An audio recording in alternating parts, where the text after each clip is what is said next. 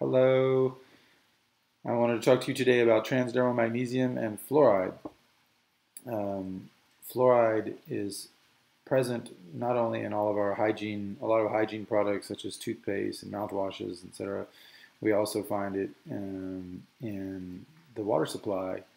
Um, and this fluoride is dangerous to the body, um, especially, I mean, some natural forms of fluoride that you find naturally present in water systems, uh, you know, natural spring waters even. Um, this is not dangerous, um, but it's when we add fluoride to anything or we, you know, change the dosage or, you know, because when it's found naturally, it's at a very, very, very small level compared to everything else in the water. And, you know, this is a total um, changing of the natural order of things. And so, um, the fluoride gets in the body as well as the chlorine in the water systems. Now it's you they use chloramine now in certain areas because it they say it cleans the pipes or whatever, but um, really it's just a much more volatile and rapid form of absorption. Um, so it's not even chlorine; it's more chloramine now in a lot of the water systems, and so we've got this intense. Um,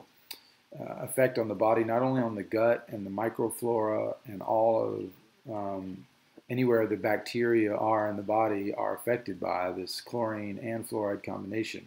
But one of the worst features of fluoride is what it does to the brain and um, the effects on the brain and the effects on intelligence, even uh, coming through. Um, because basically because fluoride isn't meant to be at these levels in the brain, and um, so not only fluoride, we also have radioactive iodine, we have heavy metals, we have a lot of other things which are all competing toxins, I guess you could say, and uh, all of which can be addressed by magnesium to a certain degree. Magnesium can chelate, especially a, a, a molecularly pure magnesium, can chelate a lot of these toxins and heavy metals and pull them out through the bloodstream to the emunctories, through the bile system, um, through the hair, through the transpiration through through many different areas. But um, and so learning to use this transdermal application on the head, for example, or anywhere else, but on the head has been very valuable to me.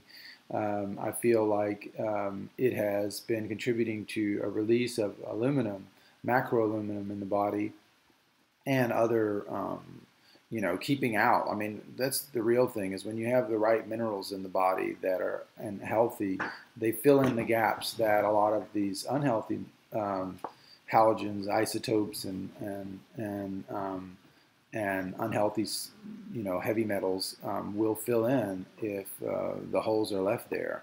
It's just like anything bad in the world is usually created because we we create a space for it, and uh, so it's the same thing in the body and um, trying to overcome our deficiencies is the first uh, level of understanding. If we can overcome, you know, vitamin D and magnesium deficiency, which a lot of people have not still overcome yet, uh, they, there's more consciousness around it, but we still there's still some pieces missing to the puzzle, and so we're trying to bring that piece here with the transdermal magnesium of a high purity, coming originally from the Zechstein source in Holland from Veendam.